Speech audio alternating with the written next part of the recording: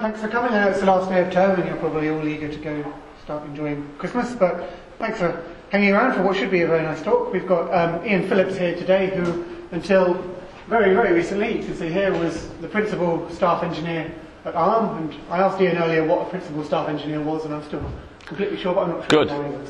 Yeah, 52 years later, I'm not sure what Yeah. one is either. Fortunately, I don't do it anymore. 52 years ago, I got up and started going to work. And 52 years since, I've always got up and every morning have done essentially what somebody wants me to do. And so one of the things that, that I uh, found myself doing was, was looking back in a constructive way. What has changed during the time that I was a design engineer? Because I, I literally moved from school into being a design engineer, which not many people do these days. And uh, it was back in 1964 that I left school without any formal qualifications at 15. And I took an apprenticeship with the um, MOD at a weapons testing establishment. And they had a department called the Instrumentation Department. And this, this group of people were kind of playing with electronics. They didn't know a hell of a lot about it. We were using some electrical equipment, electronic equipment, but essentially w- our task was to try and measure the things that they wanted measured. Now this was stuff that basically went bang. So you had small bombs and guns and projectiles, and we had to measure things like how fast does a bullet go, how fast does it spin. Um, you know, if, if something is going to explode, what's the pressure at certain distances from it? It was all great fun. Because you hadn't got, any, you really hadn't got much equipment to try and do it with, so you had to sort of put things together. And uh, so, although I was an apprentice and I had a supervisor I was working with, he was a good guy. And so I, we got some really exciting stuff. You know, speed, acceleration, pressure, etc. I also ended up commissioning a radar system on top of a hundred foot tower. You know, this is, this is real hands on engineering and, and making it work. Um, the thing about it was that although this was 1964, there was an interesting thing that I, that I learned at that point. This receiver, which is a HRO triple conversion uh, heterodyne re- uh, receiver, uh, is still available today. You can go and buy it on, uh, on the equivalent of eBay. It's got 15 valves in it, and it's still a superb performance for a radio. So it, it, it can do all kinds of things, all kinds of decoding over a, uh, it's a, um, an all-band receiver in the sense that it covers anything, anything basically which radiates from 200 kilohertz up to probably 20, 30 megs.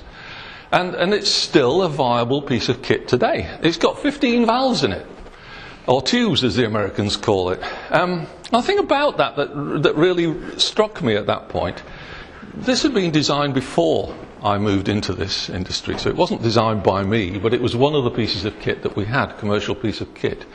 It delivered technical excellence despite the fact that it didn't have a transistor or an integrated circuit in there. And it did it based on, on valves. So what's going on? You know, here we're talking about signal processing. It is an analog signal processor, but it's doing what was required to a degree of excellence which is, which is good. These things were made to, to be serviced. On the top of there is a lid that you lift up. You expect to have to service these things. The valves don't last forever. When the valves go wrong, you have to replace them. And they're fairly easy, they plug in and out. But to find out if they're going wrong, you have a piece of kit like this, which is a valve tester. And so you plug you, so to service a piece of kit like this, and they used to come into the lab probably every six months, you'd, you'd check to see if they worked against, uh, uh, against um, signal generators and so on. But you'd also go through all the valves and test them to find out if the valves were basically good or starting to die.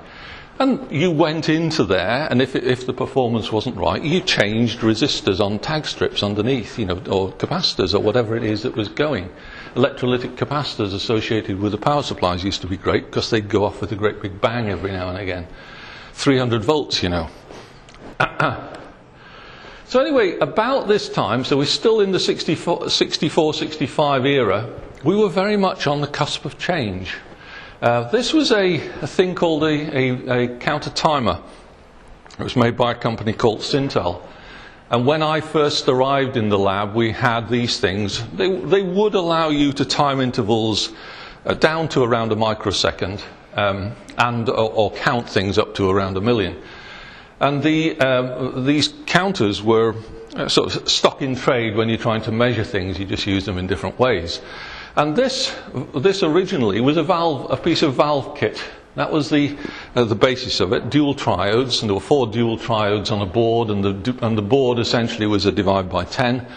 The output was on center zero meters, and so it was an R2R network which is built into the, uh, into the four bits of counter, and that actually did a D2A, D2A conversion, although we didn't really think about it in that way, it just drove the meter. And um, at that time, we were actually seeing new pieces of kit come in. And these had got transistors in instead of the valves. And they'd taken, literally, taken the valve circuit and replaced the valves with transistors. They'd lowered the voltage from 150 volts down to 24.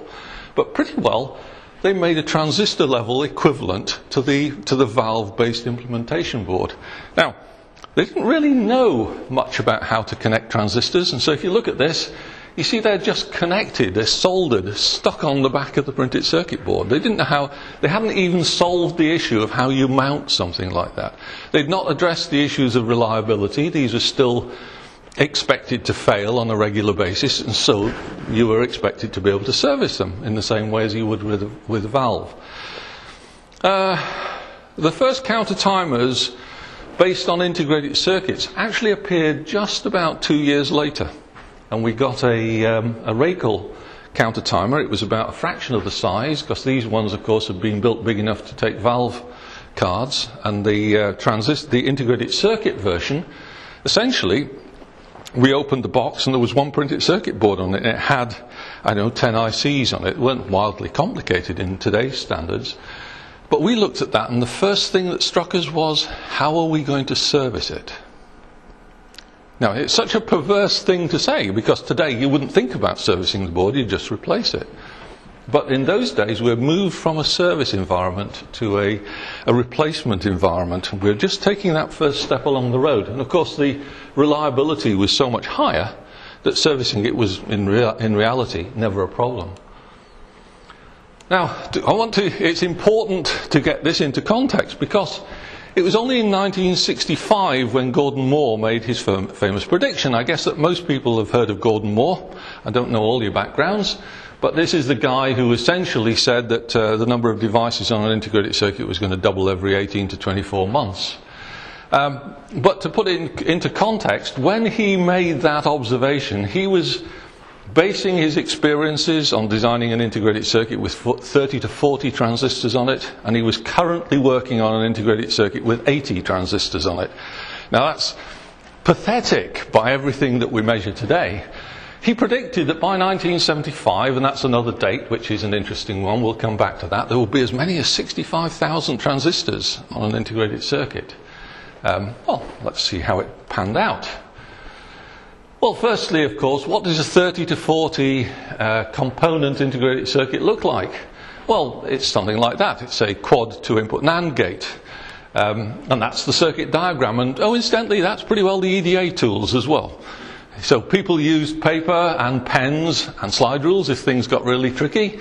And you were going to make something which was going into a 14 pin or an 18 pin um, dual inline pack. You can still get them today. You can still get the devices today. Still not um, uh, irrelevant, but TTL was the, was the logic of the day.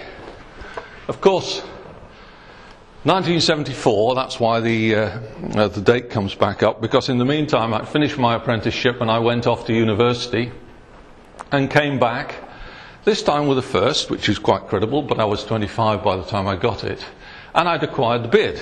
The beard is still here.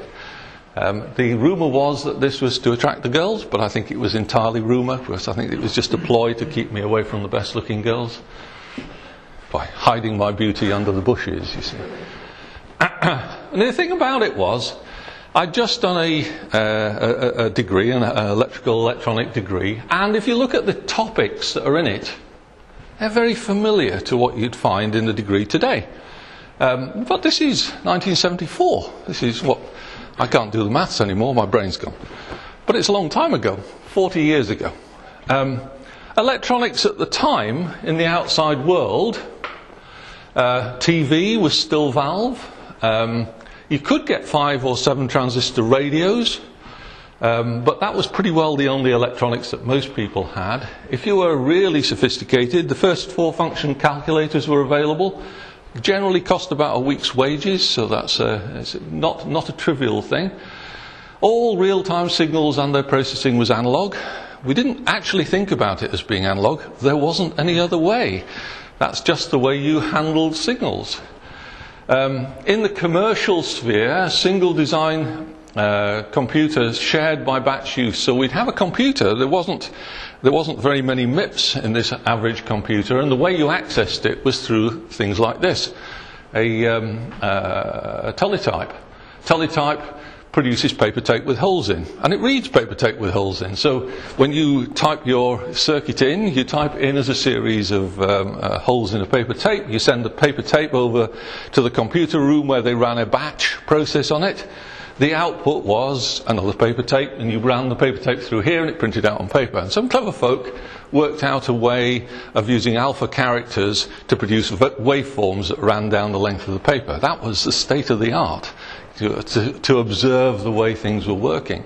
Yet, we were using SPICE. Anybody remember SPICE or know of SPICE? SPICE is the analog simulation tool still in use today. It's the one where you, uh, where you want to uh, model devices, you model them by their phys- physical characteristics. And SPICE, I can't remember exactly what the um, SPICE means, but the IC part of it is for an integrated circuit. So it was anticipating uh, people designing transistors and adjusting the dimensions rather than using physical components, already predetermined physical components.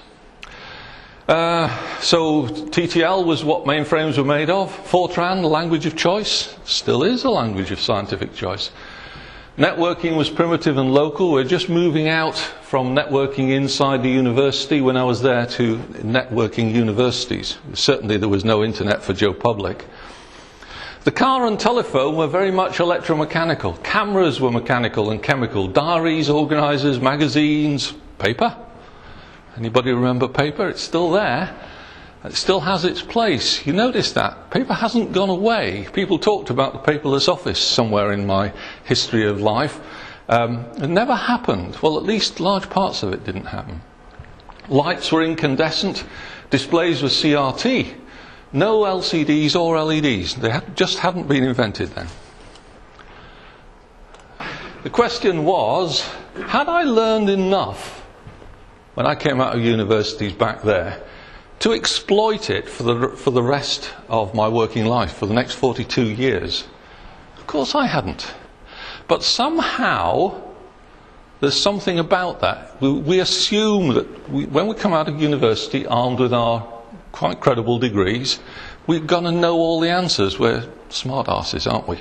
We're going to go out there and the world is going to be really pleased to have us. Now, that may be the case. The world may very well be really pleased to have us. But fact is, I don't know everything when I come out of university. I don't know everything now, but all, I, all I've learned in the meantime is how little I know. And that's the thing which has really changed.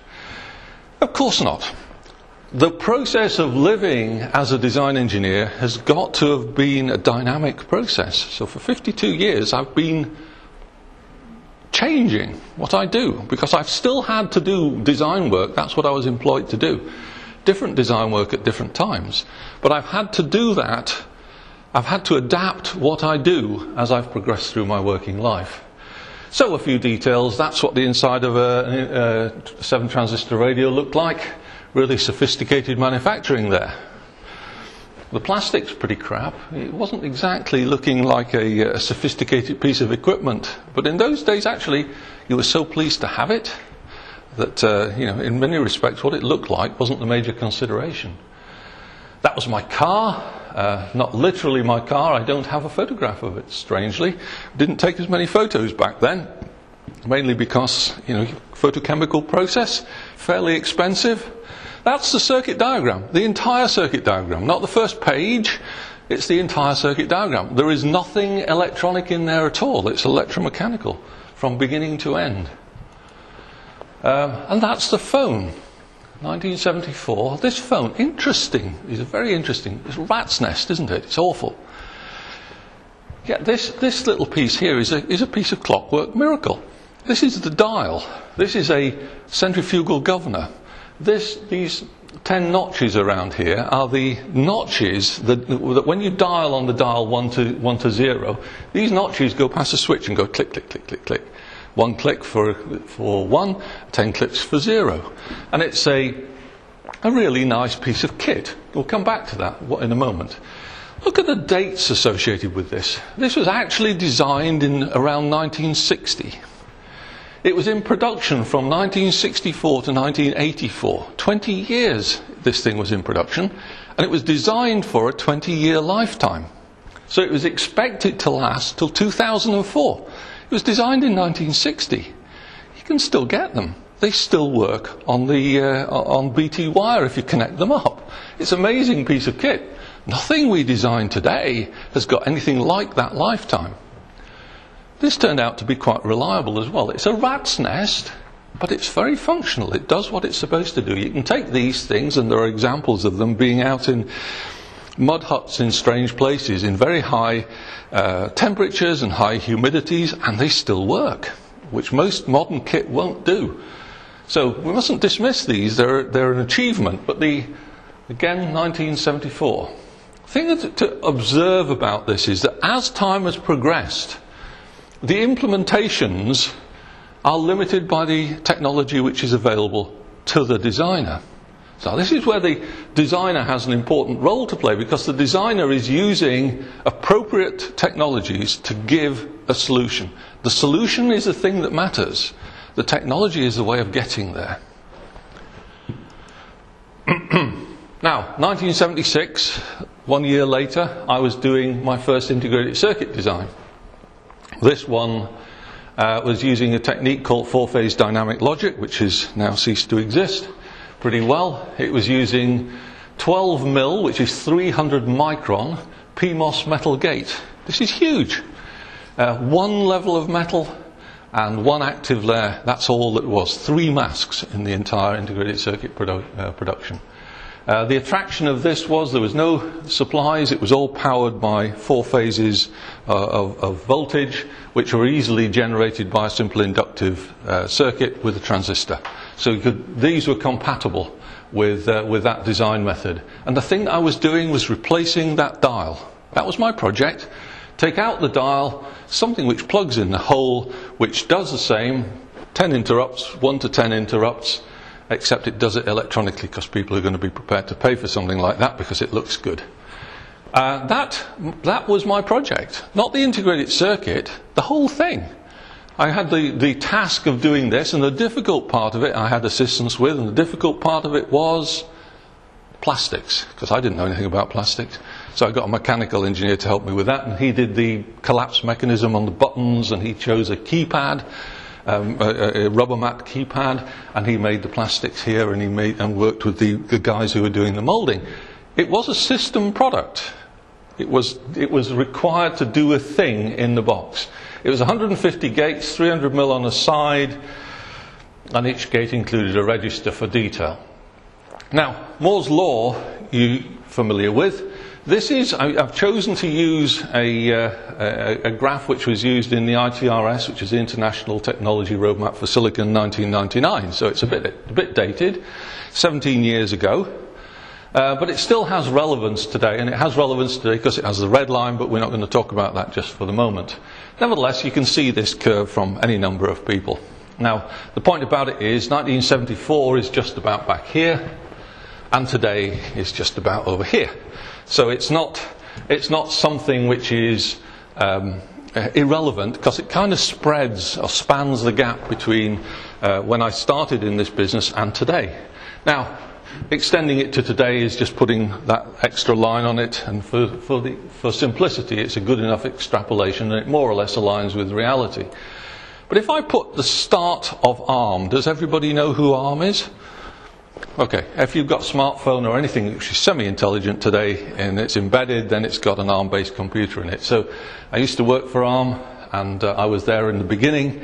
And when ARM first kicked off, then we were talking about putting a million transistors on an integrated circuit. Seemed like a big number, actually. Uh, and today, of course, we're talking about maybe 20 billion transistors on an integrated circuit. Now, the integrated circuits cost less. You know, the, in those days, you were, you were paying quite a bit for a million transistors. It was a big one. It was a difficult one to do. Now you pay a few dollars for it. It's really quite, uh, quite small. The, to highlight on that one, was that there is actually a 20,000 times more transistors on an integrated circuit in the lifespan of ARM, which is only 25 years. And the integrated circuit is going 10 times faster, which broadly speaking equates to 200,000 times more raw capacity in that integrated circuit. You don't design an integrated circuit the same here as you do here. You don't design a with the same tools, with the same methods, when it's something which is 200,000 times bigger. It's just fundamentally, it's, it's a change, and that change has to be encountered somewhere. What I wanted to show, show on this one was this is what around a billion transistor integrated circuit looks like. This is just a, a photo of NVIDIA's Tegra 3 2012. It's just one that they actually had a die shot of because most people are fairly protective uh, these days. And the fact is, as you zoom in, of course, you're used to seeing things like this. Uh, what you're not used to seeing is that those are three transistors. So there's three transistors there. We're talking about a billion on the circuit. And the thing that strikes you immediately is there's a lot of complexity above the transistors. Now, if you move to my earlier model where I said there were just three mask layers and there were 80-ish components on an, on an integrated circuit, you can see that actually complexity has gone up quite a large amount as well. It's difficult to quantify complexity in terms of uh, uh, something which is, um, let's say, a design challenge. But let's say it's not unreasonable to think that during that same period of time, 25 years, that the connectivity uh, connectivity based complexity has also increased by, let's say, something more than 10, something less than 1,000. Whether it's 100, I don't know. But it's 100 times on top of the, two, the 200,000 that I previously talked about. You're talking about the order of 2 to 20 million times more complexity between when ARM started and today. So, is it that uh, node layers are required to, to get all the wiring through? Yes. But theoretically, you only need three. Uh, no, well, currently we're using about seven. I know, but Right. three you can but the problem is you want to have things rather cl- rather closer together. You want to make more effective use of the transistors. You don't want to have too many dead gaps in between the transistors. So you want to get up, get away as quickly as possible. Uh, you also have an awful lot of rules associated with uh, geometry. You're, what you're allowed to do on, on certain layers, like all metals are only allowed to go in one direction on certain layers. They, they can go in another direction on the other layers, but you can't have some going that way and then joggling. You can't do that anymore. So as, as density goes up, a lot of the physical process rules change. Um, let's say the, the complexity, though, you can connect three transistors up. There's a limited number of ways that you can connect up three transistors. There's an awful lot of ways that you can connect up uh, two billion transistors. And so that, that connectivity gives you functionality, but at the same time, that functionality costs you in your design methods. So that 20 million times more complexity in the last 25 years has required us to do things that we didn't do. So high level description languages were never part of the process of design uh, integrated circuits. Back in Ar- when ARM started, ARM was actually revolutionary in that, that they used a high level description language to effectively a model based, uh, model driven design. So they created a model of what they were going to do and then implemented components of it. Now, there wasn't a language that they could use, so they wrote their own. Uh, so VHDL and uh, Verilog came out subsequent to, to ARM doing that work. Synthesis was, new, was a new kid on the block. It's come in. Verification languages and methods. Verification was never a problem when it was simple.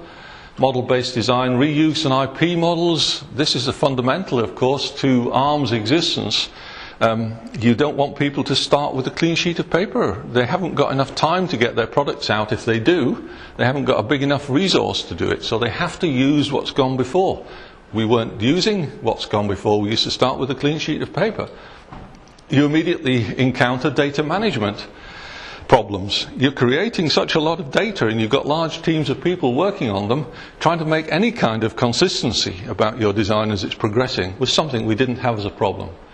Self-test methods, embedded real-time software, um, real-time computer architectures, so CPU, GPU, MPU, this whole domain was never in an integrated circuit.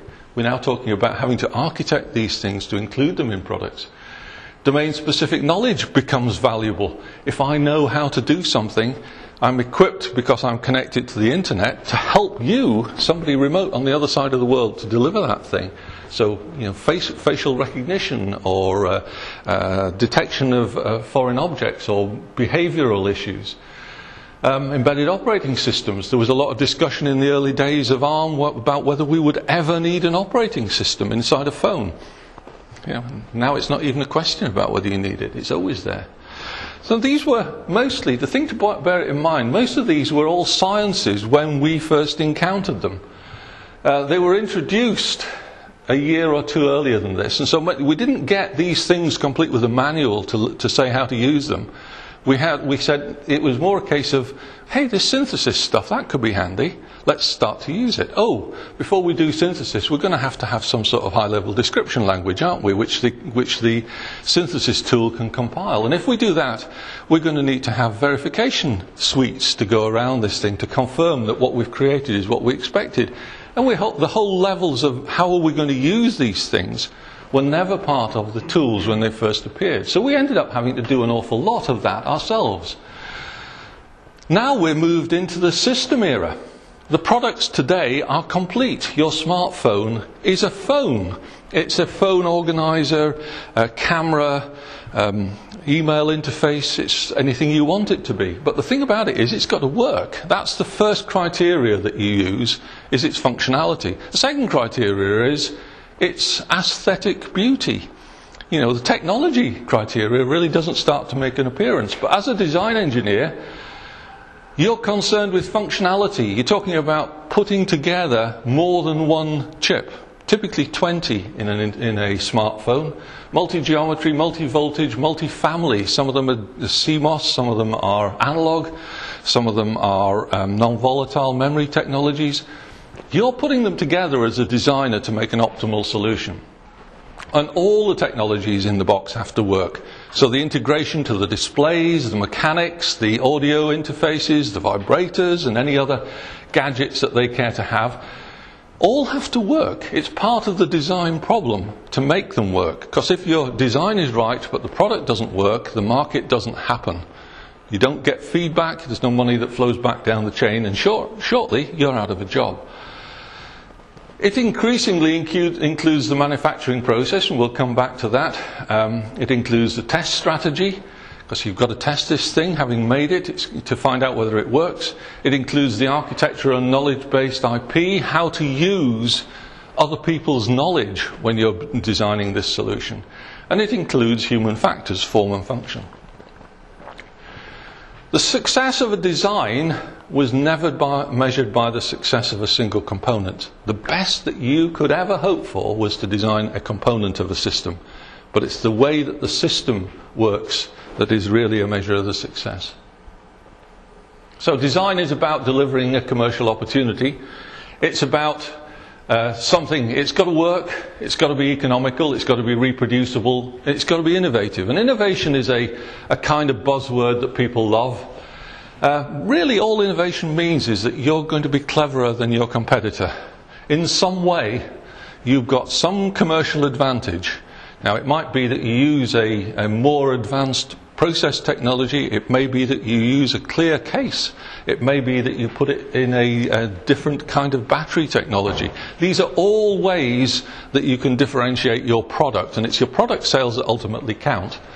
So innovation might be, I know we could use the latest silicon processes, or I know we could use the latest operating systems, but actually we can get a commercial advantage by putting this in a, in a metal box rather than a, a, a plastic box.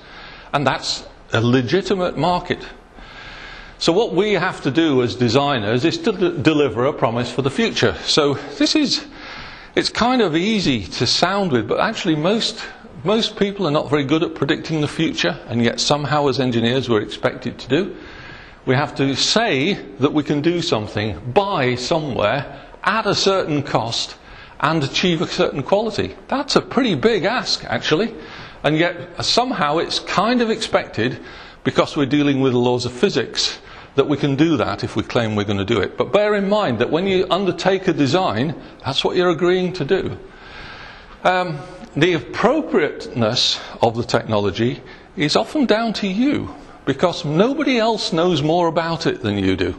You've been brought in, you're doing the role that you're doing because of your specific knowledge in that area, because of the awareness of how it's connected together.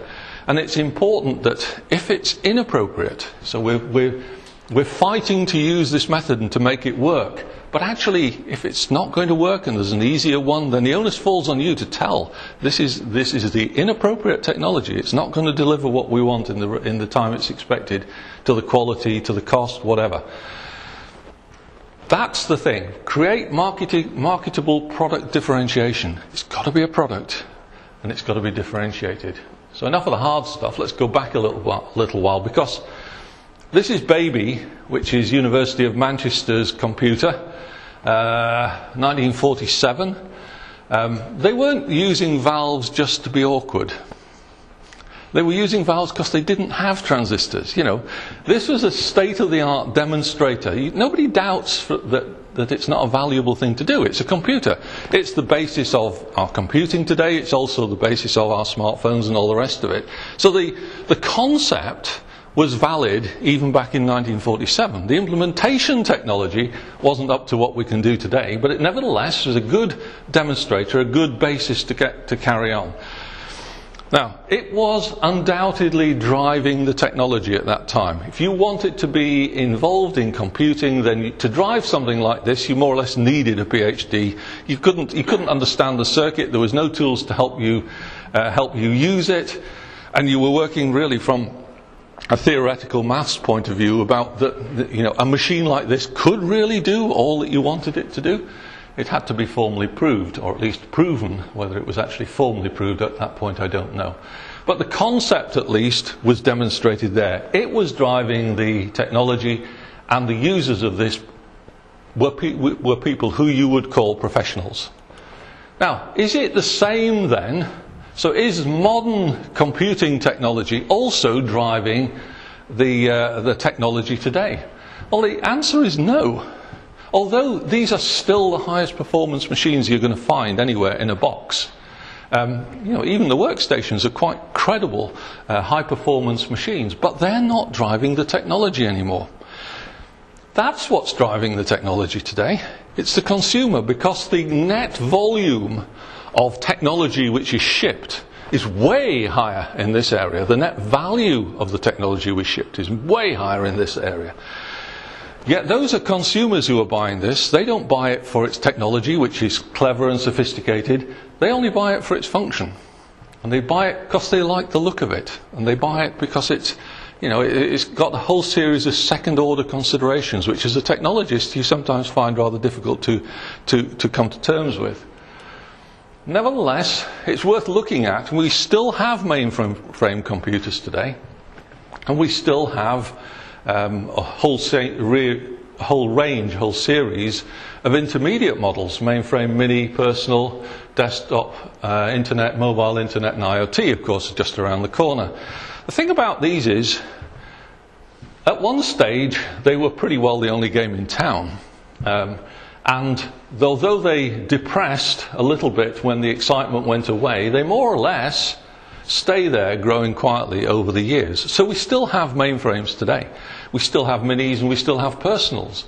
Although the volume and the, and the, the, uh, uh, uh the, the area of silicon and the, uh, and the total value of the market is undoubtedly dominated by this.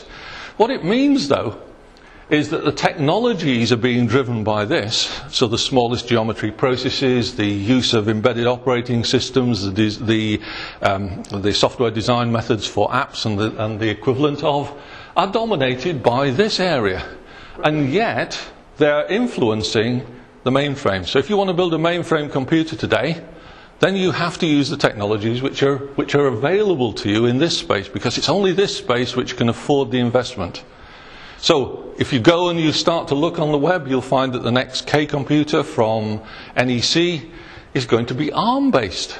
ARM based, ARM, the CPU, which is you know in uh, a, a low performance CPU for use in smartphones and so on. It's very small, but you can put a lot, awful lot of them in a box. And whereas the mainframe guys would probably still like to have one humongous computer, they've decided that they can actually get more performance and better power efficiency by using the technologies which have effectively developed out of this space. So, the disappointing point about it, though, is this. Whereas professionals were the ones who were determining what the historic technology roadmap was going to be, it's the consumers that are determining it now. So, if you ask a professional where the next technology lead should be, they will give you the wrong answer today. Because it's the consumer that you've got to ask. And the consumer is. Sorry. Guido. But to what extent is new stuff fed down the throat of people who don't really need them? I mean, to, to call it a con- consumer pull, is it not an industry push? Uh, it's probably complicated to say it's not. Uh, it's one or the other. The fact is that the industry is encouraging consumers to want to consume. But it's the consumers who ultimately put their hand in their pocket and find the money and put it on the table. If you, if you design a smartphone to last 20 years, that would be a catastrophe. Uh, from a business point of view, yes.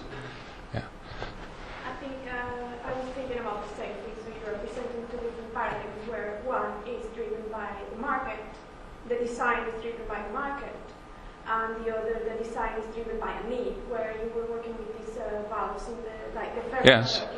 where you have. Um, but that's not a product. The product is, exactly. yes, I mean, what you're talking about is demonstrators may still be driven by the professional identified need, but the products are, de- are driven right. at the motion by. Co- run for a long time, and yes. really good example of a design. Mm. No, they're part of the continuum. They're not too different. It's, it's the era that's moved on, but actually it's still the same thing.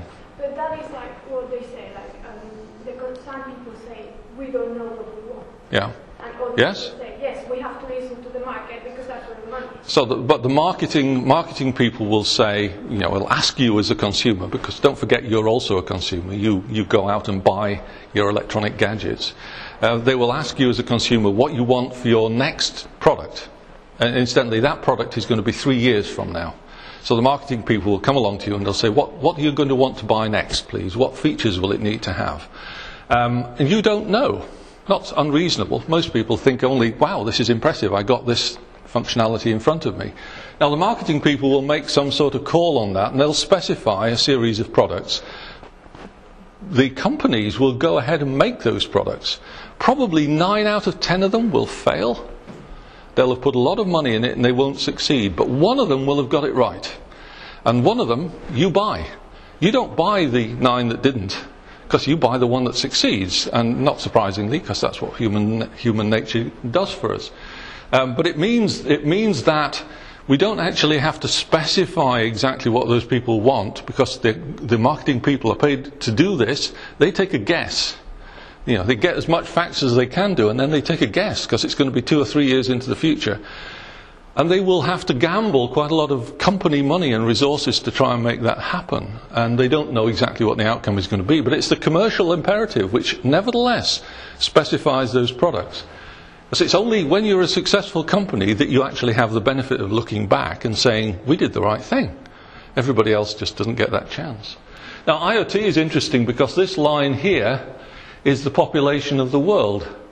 So IoT is now getting to the point where you're going to be shipping tens of processors to everybody in the world, or hundreds of processors to those people who've got lots. Now the thing about that is, you don't buy processors one at a time when you're buying a hundred of them. You buy them in a can of paint. You buy them in your car, in your toaster, everywhere. They're, these are now actually moving out of the consumer domain. So the consumer only buys a toaster or a tin of paint or a, a, a new heating system or whatever. He gets the processors. What do you mean exactly by IoT? Internet of Things. That's what it means. Now, that's the, the glib answer is nobody actually knows what it is.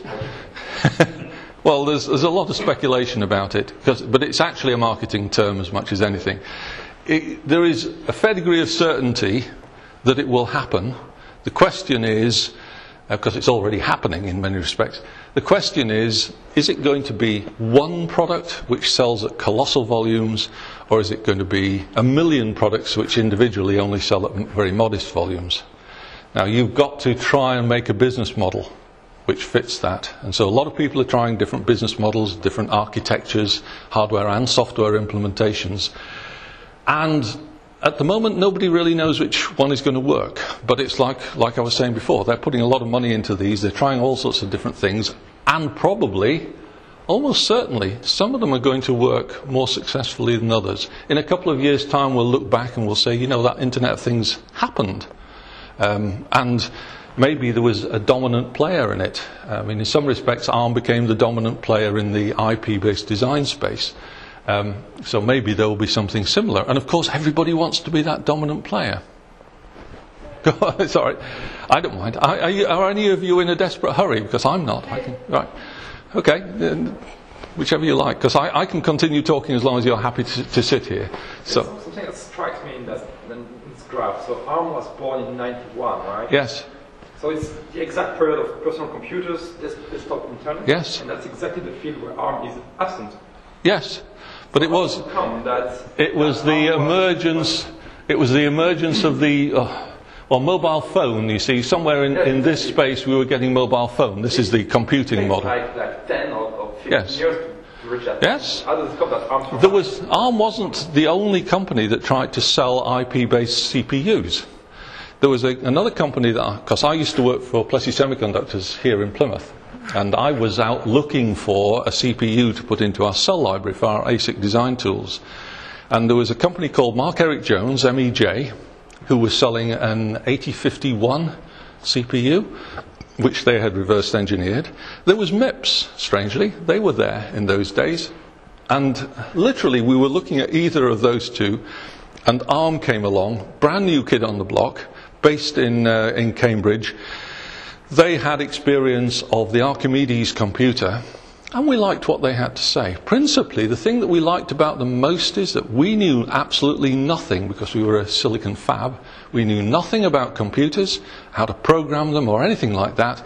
And these guys in Cambridge were prepared to help us because they, they knew about how to make a system based around a computer and they knew how to program it. MIPS guys, these were all computer geniuses. They were all, you know, super way up there in the clouds. And one guy told me, I don't know why we're wasting time talking to you because you don't know the first thing about computers which of course was a marketing mistake because the reason we were talking to them is that we didn't know the first thing about computers. Um, Mark Eric Jones, with uh, his, his processor, problem he had is he couldn't actually verify that it was an 8051. He had a design, which he claimed was an 8051, but we, we anticipated selling this to people who wanted to produce integrated circuits to replace um, a design that they already had where they used the discrete 8051. So, from our point of view, it had to be compatible. So, his product didn't fail. Now, at the same time, we were also designing um, our own complex integrated circuits. I won't say they're you know, complex by today's standards, but they were complex by those standards. We needed to use little processors inside them to control and manage them. And the guys who were designing those said, We don't want to worry about any of these CPUs. They're easy. We'll design our own. And so we had four CPUs in this, in this model and one of which was, don't worry, we'll design our own. Now, the, don't worry, we'll design our own totally ignored the issue that reuse was going to become a major problem.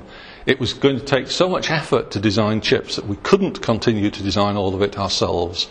And so that group actually failed. They folded. The group clo- closed down. The whole activity that they were working on inside TMC closed down. Um, and at least a significant part of that was because they believed they could do it all themselves for too long and they couldn't do it. Yeah. To come back to your question. Yeah, um, so the dominant player would be the one that has the use case right and clear, uh, the technical uh, capability and the experience from all the yes. sale driven by an idea yes. rather than a use case. But just because you have all of those things doesn't guarantee success. No, you have to be You have to be lucky as well. And yeah. yeah. ARM was lucky. ARM was there at the time when, when it became apparent that people couldn't afford to keep doing this themselves. The uh, GSM phone was just about to set up on the market, which needed a processor which had more power in it than an 8051 could give you. So it needed a, a 16 slash 32 bit processor. Nobody really wanted to go to 16 bit. They've just done 8 bit. And they, with 32 bit on the horizon, they were saying, well, if we do this one conversion over to 32, at least we won't have to change again for some time. And so ARM was just lucky. It had the right model. It also had the right business model. Because the other thing that ARM did was it had what, we- what we call shared risk business model. So we didn't sell it, hand it over, and say, there you go, good luck. What they actually said was, here's a, you know, give us a deposit. Here's some of the money. We will give you this. But the thing is that we will uh, share in the success of your product. We want to have a percentage of everything that you ship. So the the more successful you are, the more we get out of it. And that, that tie-in turned out to be a very important business uh, differentiator, actually. Uh, and so the CPU was, well, it was clever, but it wasn't that clever. It was a RISC, RISC-based CPU. The business model was different. This shared business model turned out to be very important. And that was the thing which made it into a product. It's, it's, so technology is important, but it's not the only part that's important. Can I move on? I can. So I'll come back to this line because I, I did mention the red line, and uh, the red line is the productivity line.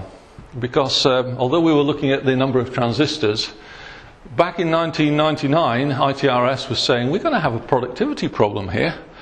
Um, there was some figures had been coming out for the amount of effort that it was taking to design some chips, which are the data points for the number of gates, and the gap was getting bigger.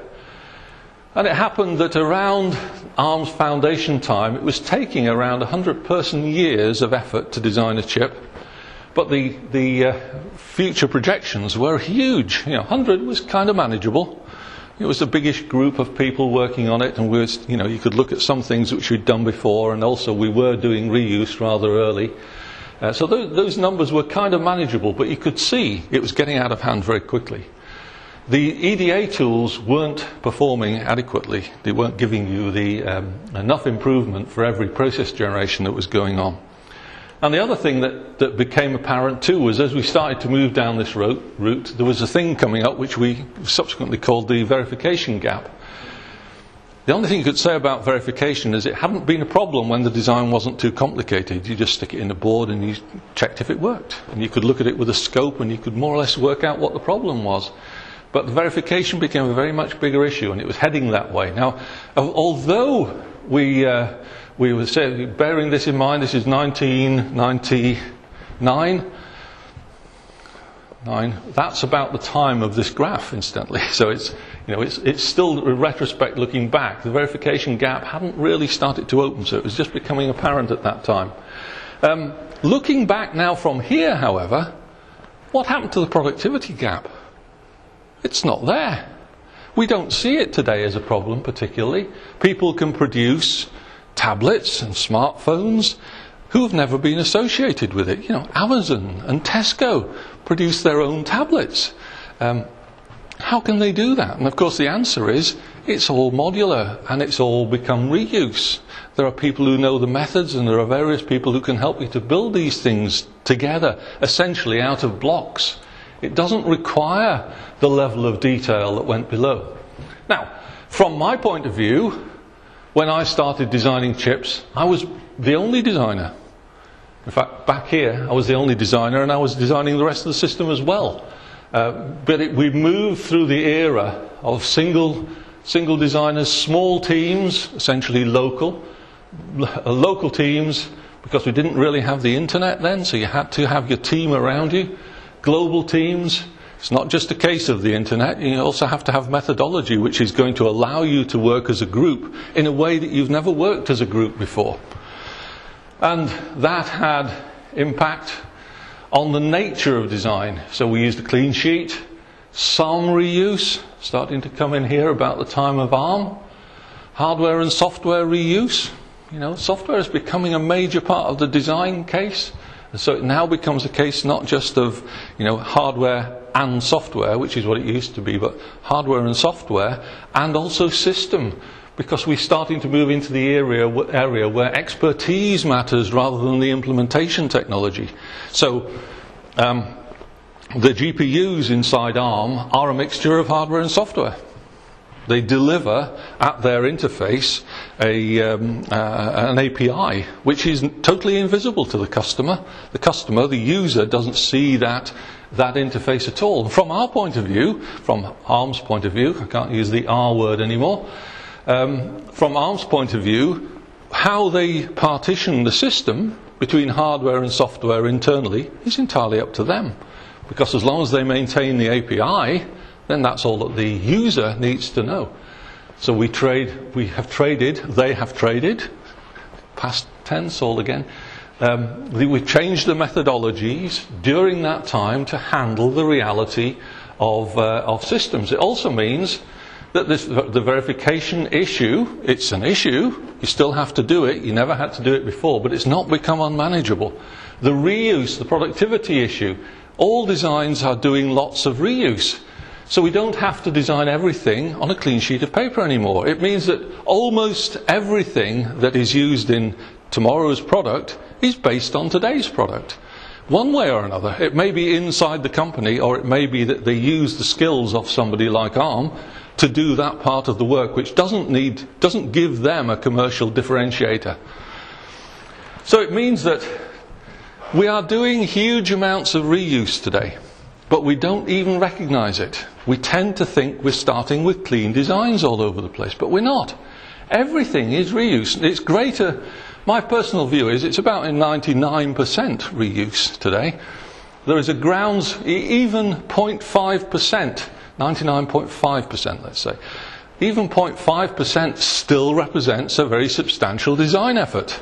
So you may only be talking about a few million transistors which are going to be flown around your integrated circuit, a, num- a number of um, routines or library components which hadn't been necessary before, or connecting together networks in a way that they hadn't needed before. But they amount to a manageable productivity to deliver a functional system. We've got two questions coming. It's all right. No, you haven't had a shot yet. Um, so, does, what does that mean in terms of new companies starting? Because if, if you can't produce something from scratch, then how can you kind of start a new? Say you want to make a new CPU company. Is it even possible now? Well, yes, it is. Of course, it's possible. There are. Well, you have to make sure you've got a good business model. Yeah. But if you wanted to make a CPU co- company, you have to ask yourself what need are you trying to s- Yeah. to fill. Yeah. Because if you're only trying to be a competitor to ARM, that's not really a business model. not a good one. No, what, you, what you've got to be doing is delivering something that Yeah. people want. There's so Now- much involved in these, these Yes. circuits nowadays are so complicated and they're based on so much that's been reused from earlier products. If you don't have those earlier products, I haven't got it in this slide set, but one of the things that people tend to make a mistake about with ARM hmm. is that ARM is just a CPU, isn't it? Well, in point of fact, the original ARM was just a CPU. You now have this vast infrastructure. There's 24 CPUs in the family. You've got all of the um, partnership model of all of these people who are working in compatible ways with the CPU. And then you've got the software environment and all of the operating systems and all of the libraries and all of the uh, APIs that have to be maintained and established. You know, we have a huge infrastructure with a little tiny, essentially a chip on the, on the top of it. Um, now, somebody who undertakes, and uh, so if you look at RISC-V processor, for example, which is the commercial open, open sorry, the open source C, uh, CPU, which has been designed out of a uh, consortium of universities in the States. Um, they essentially have just got a CPU. Now, one of the big things that, are, that um, impresses ARM's customers is the light, is the um, the roadmap, where the processor is going to go because they have a huge amount of investment in today's solution. They want to use it tomorrow. Now, with ARM, they have a track record of series of generations, you know, roadmaps saying we were going to do this, and we more or less did, uh, and we have a roadmap that goes out, so they've got a fairly high degree of confidence that they're not going to be let down when they do their next generation of product, because if they miss their beat on the next generation of product, they're out of business. So they, they can't afford to get the beat wrong. RISC-V is just a total unknown to them.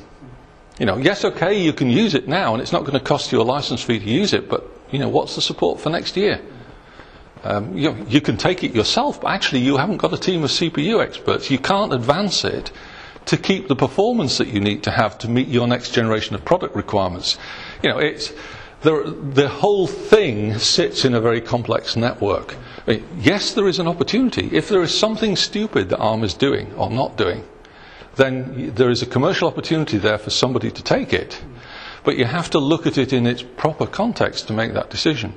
So people can make another smartphone. Let's move up the food chain a little bit. People can make another uh, smartphone, and they can decide that you know a brick-size one actually offers a lot of advantages. Well, robust ones, the ones that, that builders use on top of uh, outside. And, you know, this is a perfectly legitimate business model. It's not where Apple want to be with their iPhone.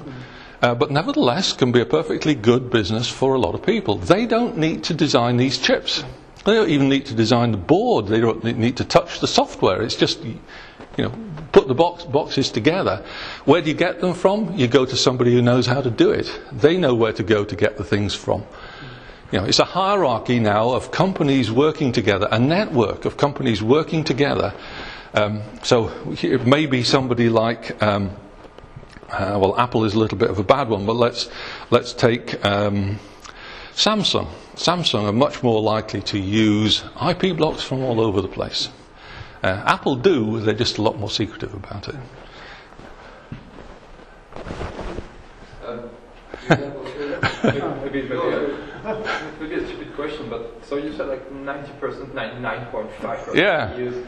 But when ARM introduced ARM64, for instance, I, I would intuitively think that it requires a lot of change in many places when you go from 32 bits to 64 bits in the design of your chip, or maybe I'm just completely. Uh, well, actually, it makes very little Okay. difference, but it does it does make differences from the CPU's point of view. But inside the CPU, um, a lot of the differences are not as big as you think they would be.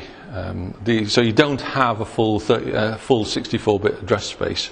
You actually have, I think it's. Um, 48-bit address space. Um, the, some of the um, jumps become indirect jumps rather than direct jumps. But there are some things which are performance related, which you can do directly because of 64-bit you can't do in 32.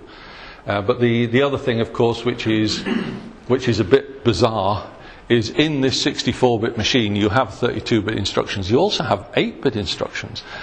You have the you have the thumb instructions, which are still in there. Well, still in there. You- Very attractive in, in many you ways. say that there is basically no, neither yesterday, today, or tomorrow, big technological changes that might kind of question those 90%. Well, the CPU, one of the, the biggest changes that's gone on is the difference between CPUs, GPUs, and GPGPUs, um, and MPUs, because historically you did it all in the CPU. Now, we expanded the CPUs as far as it was reasonably possible to do, and then you start to be able to put them together in clusters. Um, uh, up to 64 CPUs in a cluster, which we can, we can handle in the methodology. But then there are some things which it's just inappropriate to use a CPU for. Now, GPU is the first one in this space. But the, um, in terms now of um, the architecture of what are effectively specialist accelerators, so they're aimed at specific application spaces. These are accelerators which are programmable, but they are they're not going to be much use if you want to use them outside that space. And so there's a whole new raft of uh, GPU, G, GP, GPU accelerators, processors, which are, which are supported by in the ARM standard family. But there is also another set which have only just come out. They've been announced, and I can't remember. I'm giving stalling in time to see if I can remember, but I can't remember. This is the extensions which are aimed at HPC applications, and these effectively do away with um, any fixed length of interpretations, either of data or instructions. So you, everything is flexible, and uh, and that's. Hmm? You're talking about FPGAs. No, no, no. It's, but it's a, if you like, FPGAs is an extreme of this model. uh, but it's not. The, the, there is a is a term that we've got for it. Um, I think it's an industry standard term. ARM has got for it, uh, but I can't remember what it is for the moment. Fortunately, I'm probably not going to have to either. I have maybe another question. Just uh, for, uh, you distinguished four four steps, four distinguishable steps for uh, human resources uh, needed for, for, for the design. Uh, I'm just uh, wondering uh, if there will be a need uh, to get further steps like that. Oh, I'm sure there will. will be the fifth step? Yes. Well, I don't. Global team. These these are not really hard steps. They're they're really a case of saying. If you look back, we used to do it clean sheet. We did some reuse. We did hardware and software reuse. It's not so much that there was a time when we stopped doing it and switched to another. There was a progression. And I think that we're going to. The expertise reuse is probably a rather ge- too general term because there is going to be higher levels of expertise reuse. Yeah, uh, with expertise, yes, but what about global team? I mean, what can can you get more than global team? This is, for me, it's a little bit interesting. Well, if you think about the way global teams work today, um, individually, businesses ultimately tend towards doing the thing that they are specifically good at in the life cycle of whatever it is that they're making. So businesses, teams ultimately become ultimately specialized and they work in a network to create, which is a dynamic network, to create the ability to deliver a product which is probably very specific. Now, those are still global teams because we're limited by global. But whereas we're talking about here essentially global working, this is not everybody working together, this is groups of people working together. Um, so there is plenty of scope in there for everybody. If you, if you micro slice the future product in terms of a series of expertise, a large number of series of expertise, not, sequen- not just sequential but, but parallel, network and mesh, then the opportunity for, I'm not sure quite what you'd call it, but it's, it's almost like, um, it's like omnipotence. You know, I, I am I'm providing this ex, this skill. I'm not even identifying who I'm providing it to, because everybody who needs it is using it, and I get money back out of the chain of this success. I, I don't know quite what you call it, but that's perhaps the extreme that, you, that, you, that this is capable of going to. But I don't think actually that, the, that we're approaching any kind of boundary on this thing. I think it will continue we will look back and we will say there were, divi- there were further divisions actually, and we can look and we will make more sense of these in the past. These weren't as hard as that, they were, they were closer. This is just my ideas put down, it's not something which is definitive. There's a lot of scope left for doing things. I mean, the other thing I talk about is, is cameras because this is a lot closer to, you know, most people have a memory, most people in the room have a memory which goes back to 1998. Uh, because this is what cameras looked like in 1998. And this is Canon. Canon is still in the camera business. And this is a pretty good uh, prosumer product. So it's semi professional consumer product. And it was a good camera then. And it was excellent lenses, fine mechanical mechanisms, electromechanical exposure meter, quite novel. Photocell and a, a, meter, which as you press the button, you pinned the pointer of the meter in one place, and that was used to select the shutter speed. You know, it was really sophisticated. Uh, metal and some plastic forming doesn't exactly look wonderfully sophisticated, but it was quite clever, quite clever put together, manually assembled, and a 2D photochemical memory. You know, we call it film in, in retrospect, but that's, there's some interesting things here. Um, one is 3D to 2D transposition, which we're still doing today using a lens. A lens is a wonderful vehicle for doing that. We somehow don't think of it as signal processing, but it is. It's processing this three dimensional world into a two dimensional representation.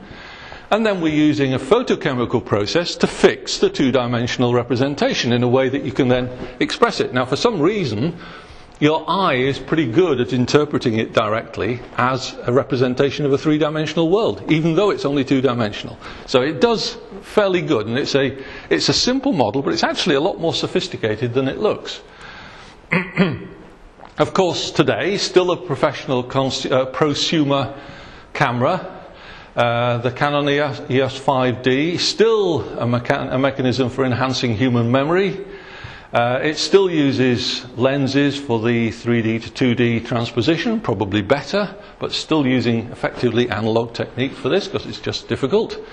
The performing, the, the plastics and metal are still in there, though you've got to agree they look a lot better than they looked back then. But then, of course, there's a lot of other things which have made an appearance in the meantime, not least of which is a computer, because it wouldn't be anything if it didn't have a computer these days to manage the complexity of the system. But it's also got other things analog electronics, networks, GPS, sensors and transducers, precision mechanics, micromotors, energy and batteries.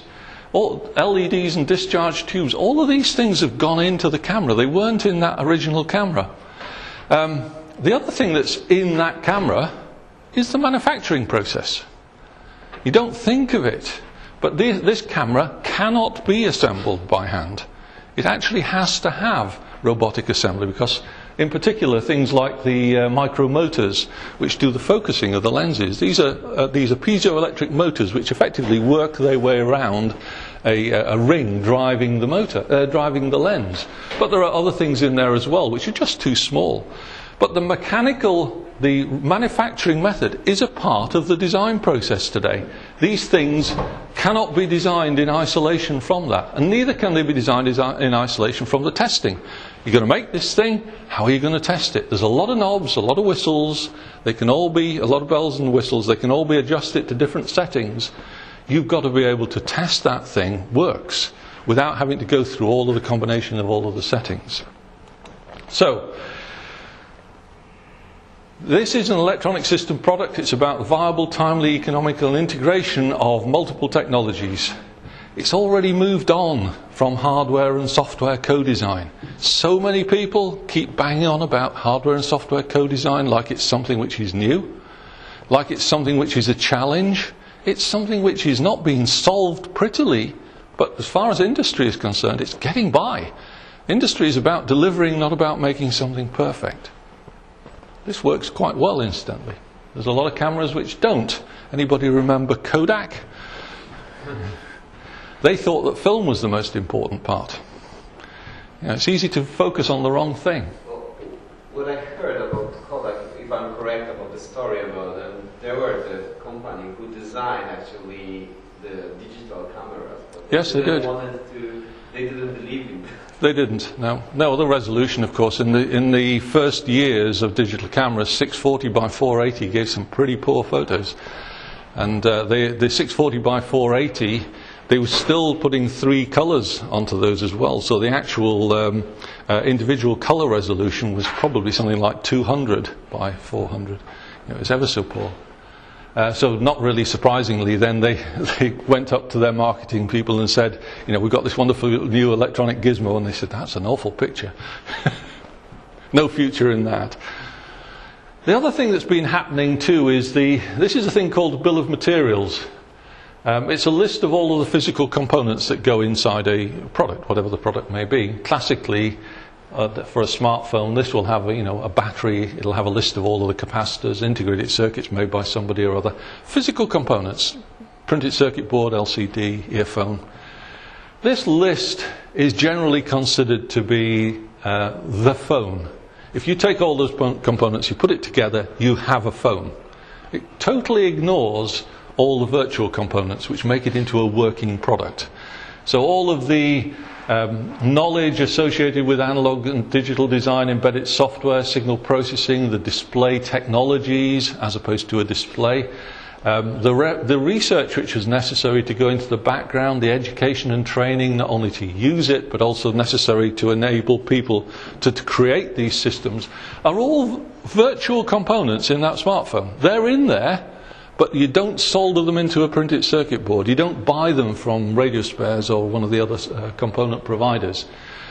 This is a battle which, is, which I was still fighting, and it's one that now I guess you guys are going to have to continue because I can't fight it myself anymore.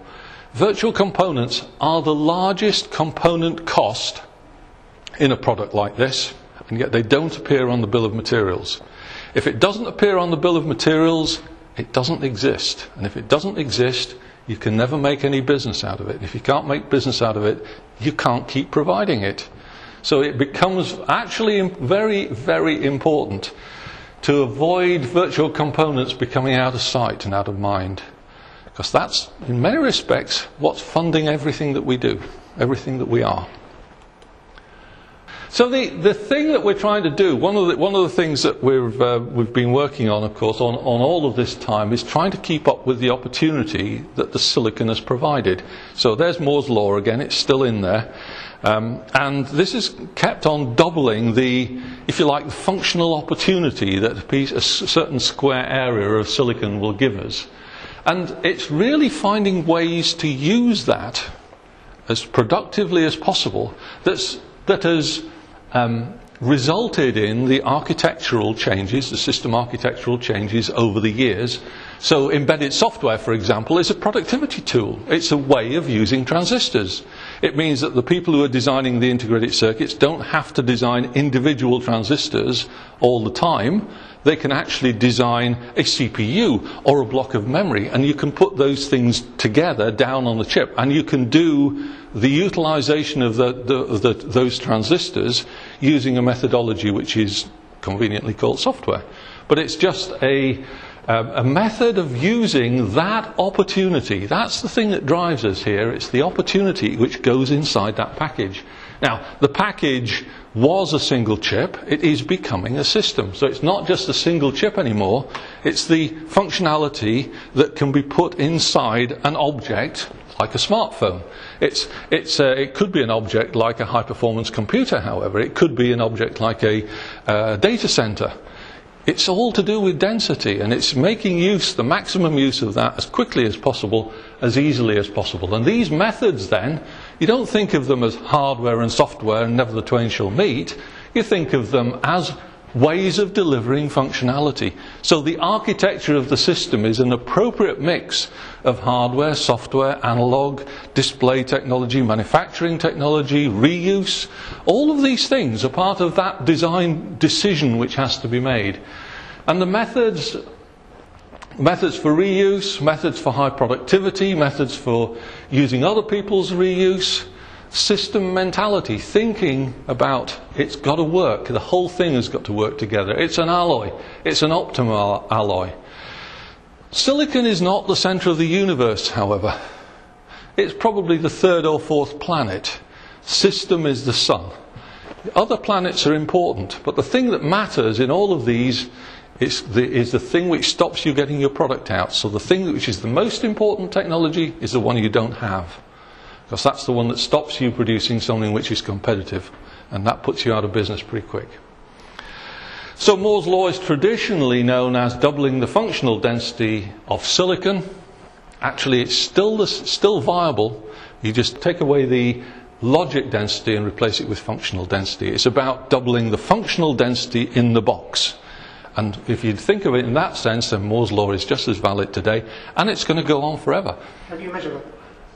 Uh, well, devices, you may have noticed in the beginning when Gordon Moore was talking, he was talking about devices, not transistors. Yeah. So the, the 30 to 40 com, uh, device chip included resistors. So he was including resistors in his count. Uh, so it became transistors, yeah. became gates, actually. So it's, uh, I mean, today m- nobody really knows how many transistors they've got in an integrated circuit. There's no way of finding out. It's all synthesized and moved away. You can only make pretty broad estimates, actually. Um, so I think it's how do you how do you calculate it? Don't know. I mean, it's like like MIP is a unit which is which has got some significance, and you can probably find another way of measuring functionality. So I am getting to the finishing line. This is my finishing line. 52 years of rapid change of products and their implementation technologies, which I was always expected to comprehend and op- optimally deploy. That's interesting because I always felt that I didn't know. I didn't know enough. I always felt a little bit of a cheat. You know, uh, other people seem to know much more about this or that or the other than I do. The fact is that we're all doing this. It's all advancing for all of us all the time. And the stuff that we knew last year is stuff that's known. That's not exciting anymore. We already know that. The thing which, is, which you're being challenged with all the time because you're being asked to push this thing forward is the stuff that you only have a vaguest inclination about right now. You may not understand. It may be something that somebody else does understand, but you don't understand it. So you can't understand how it mixes with the bit that you do understand and that they don't. But nevertheless, you feel all the time like you're on the, on the wrong foot. A bit of a fraud. But it's a tough but exciting engineer, uh, life being a design engineer. I enjoyed it. But it recalibrated for me what formal education was about. I always felt a bit of a fraud because you see, I still left school without qualifications and I don't have a doctorate. And that's always been a little bit of a bugbear. It sits on my back all the time and, it's, and it became an ir- irritation. And yet, it was quite, quite clear that I was able to contribute. People wanted me to be there, to say things, to contribute to things, to help to organise the way, the way that we were going. I was an engineer right through to the day I retired. The thing, the thing that struck me about it was that formal education got me into a room. Think of it as a room, a meeting room, or a group of people, or whatever. It got me there. The thing that kept me there was the fact that I was contributing. Whatever that contribution may have been, I was bringing something into that room which the room needed. Essentially, the room was a team trying to solve a problem, and I had given something to that team. And the measure of success in my giving that something was that he invited me to the next meeting in that room. So I had been a contributor, therefore, when, next, when the next problem arises, I could be a contributor to that. The other thing was looking at looking back at the rate of change that's gone on in that time.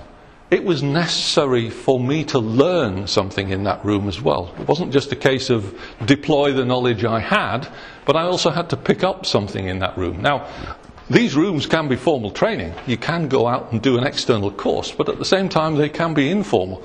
There's a bunch of guys around you, and you bring a mathematician in who's who's going to help to solve this problem. You learn a little bit about what a mathematician can do to help to, you know, in your general space, but you're also able to contribute some information to him about what you can do.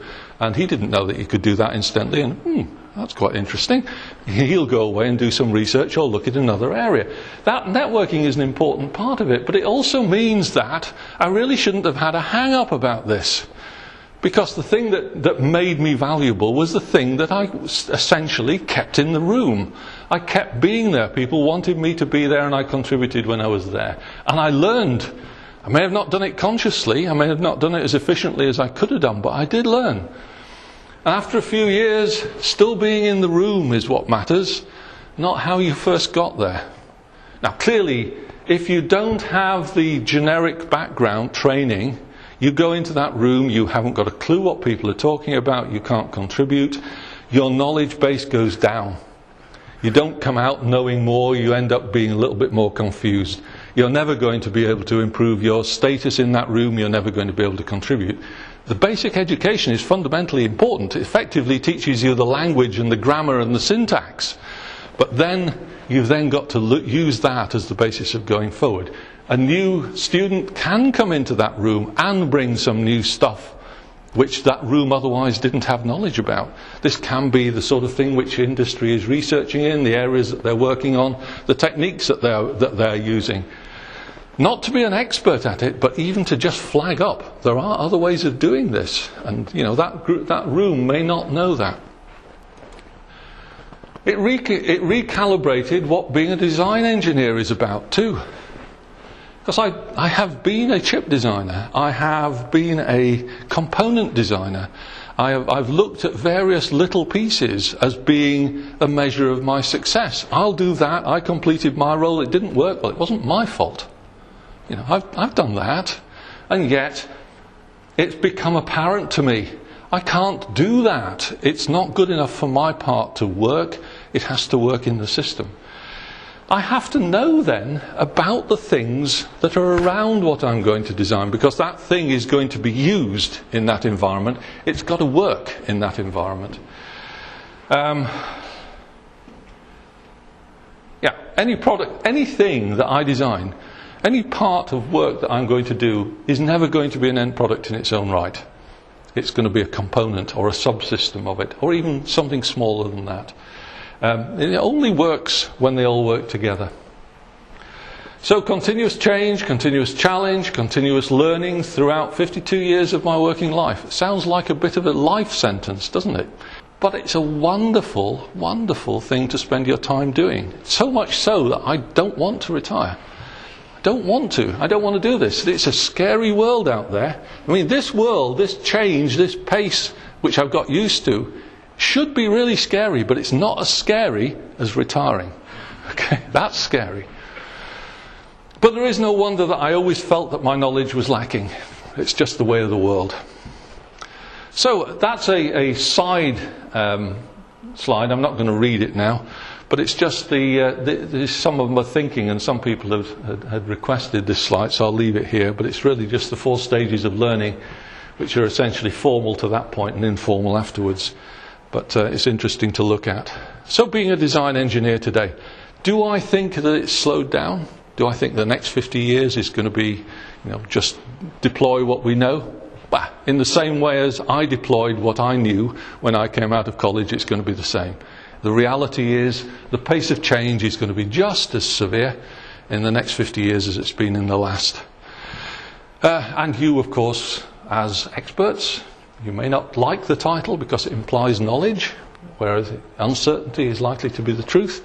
Um, you will always be the ones who know more, more about it. You will always be the leaders. That's your role. So don't be afraid to admit when you don't know. Obviously, admitting what you don't know to politicians is a difficult thing, but admitting them to your peers is a good thing.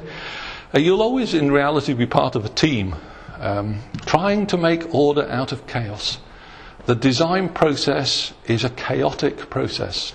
It would be nice to be able to formalise it and make PERT charts and live up to them and all the rest of it, but the reality is that only gives you a structure. The reality is it's a chaotic process every time. If it's easy, they don't employ engineers for it, they employ technicians for it. You know, engineers are there because you have that breadth of knowledge, that breadth of experience.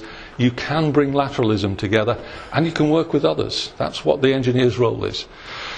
To contribute what you know to overcome the team's challenge, um, strive to acquire new knowledge for yourself at every meeting, get yourself invited to the next. Remember that the successful end product pays for everything in their life cycle. Nobody lives in a bubble. No matter how far down the academic life, uh, life cycle you are, if you're, you're doing research into something totally abstract, if you're in a bubble, you will sooner or later get cut off. If, if nobody understands where your, your role is in the life cycle of something which has got value, then sooner or later the, the budget for it will get cut off. So people can temporarily live in bubbles, they can't live there permanently. The other thing is for your own sanity, learn to appreciate what you have done. Look around you and see how much has changed in your lives. Because it should have been easy for me to see the amount of change that was going on in my life. You can see how much change I've handled, and yet I didn't see it. I just came into work every day like you come into work every day. I just tackled the problems that were in front of me on that day. I tended not to look around. But look around. You feel a lot better when you do because it helps you to understand where you are. Embrace the uncertainty, though. It is your job to deliver the extraordinary. Whatever it is you're doing, research or science or engineering, that's what you're going to be employed for. Not for doing the ordinary stuff. They get technicians for doing that. At that point, I have got to the end. This is now slide 31 of 23. so, I will quite happily take any other questions that haven't arisen so far. We've gone fairly over time, but I think we should go over time because it's such a, nice talking. Thank